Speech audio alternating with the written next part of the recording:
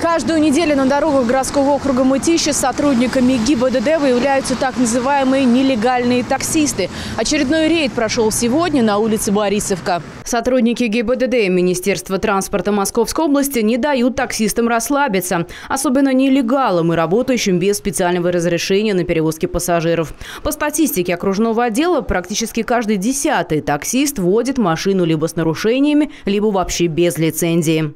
Медицинского работника проходили, механик с утра проходили машины техническое состояние. Не забываем соблюдать правила дорожного движения, ремень безопасности, никаких разговоров по телефону. Инспекторы службы проверяют разрешение, лицензию, путевую документацию, наличие метасвидетельствования и отметку о контроле технического состояния автомобиля. Таксисты, которых проверили в рамках рейда, оказались дисциплинированными. Я в такси работаю уже год. Сначала мы едем в таксопарк, там проходим этот, в первую очередь это медицинский осмотр.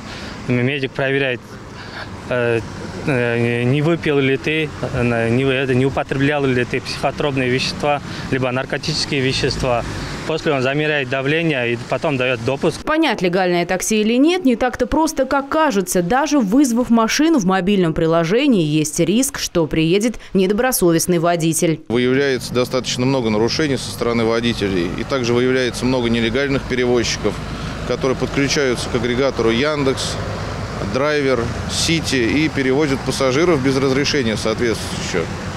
То есть совершают нарушение правил дорожного движения за что несут ответственность согласно Кодекса административного. Есть простые правила, которым нужно следовать при вызове автомобиля. Когда жители вызывают автомашину такси, нужно обращать в первую, в первую очередь на внешнее и внутреннее оформление машины.